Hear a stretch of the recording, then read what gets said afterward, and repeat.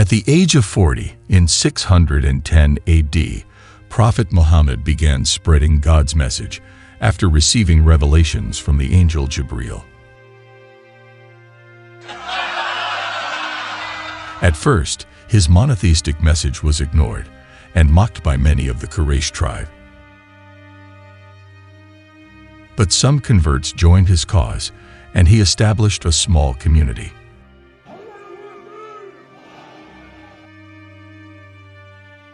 The Quraysh were a powerful Arab tribe that dominated Mecca, which was a major center of trade and pilgrimage in pre-Islamic Arabia. They were the custodians of the Kaaba, the sacred shrine that housed the idols worshipped by the pagan Arabs. More people eventually accepted the Prophet's monotheistic message, which emphasized moral accountability to God forewarned the day of judgment, and rejected the idolatry practiced by pagans in Makkah. Prophet Muhammad and his followers were viewed as a threat by the tribal pagan leaders and rulers of Mecca, which prompted the Quraysh to oppose them. Abu Lahab, Prophet's uncle, was among the staunchest opponents of Islam and subjected the Prophet to verbal and physical abuse.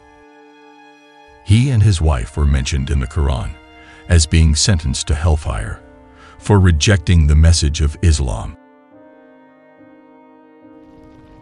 Condemned are the hands of Abu Lahab, and he is condemned.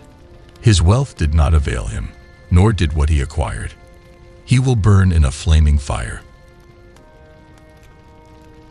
And his wife, the firewood carrier, around her neck is a rope of thorns. Abu Talib, Prophet Muhammad's uncle and the leader of the Banu Hashim clan, offered him protection, leading to dissatisfaction among other Quraysh leaders. After Abu Talib's death, the Prophet and his followers faced violent prejudice and persecution from the Quraysh. However, the Prophet found support from other tribes, particularly those in Yathrib, a city about 400 kilometers north of Mecca.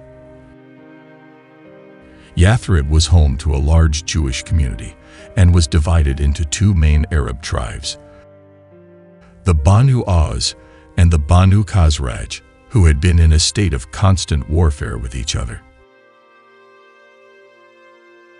In 622 AD, the prophet received an invitation from the tribes of Yathrib to come to their city and serve as a mediator between them, which he accepted. Angel Jibril descended and informed the prophet of Quraysh's plan to kill him, ordered him not to sleep in his regular bed, and also conveyed Allah's permission to migrate. The prophet instructed his cousin and son-in-law, Ali ibn Abi Talib, to sleep in his bed to give the impression that he was still in Mecca on the night of the Hijrah. When the pagans stormed the Prophet's house and realized it was Ali ibn Abi Talib, they were enraged and fled, seeking the Prophet's trail. The Prophet escaped with his companion Abu Bakr, as Siddiq to a cave south of Mecca opposite the direction of Medina, before continuing their journey to avoid the Quraysh party. After nearly 13 years of suffering by the Quraysh, the Prophet migrated from Mecca to the city of Yathrib in the year 622 AD. The tribes of Yathrib pledged their allegiance to Prophet Muhammad and became known as the Helpers.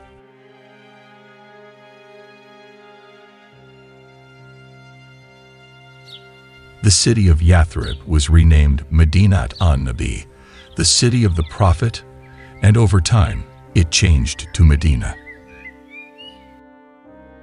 The Hijrah, at last, provided Muslims with a place where they could openly declare Islam and worship in peace. This was the beginning of the Islamic State.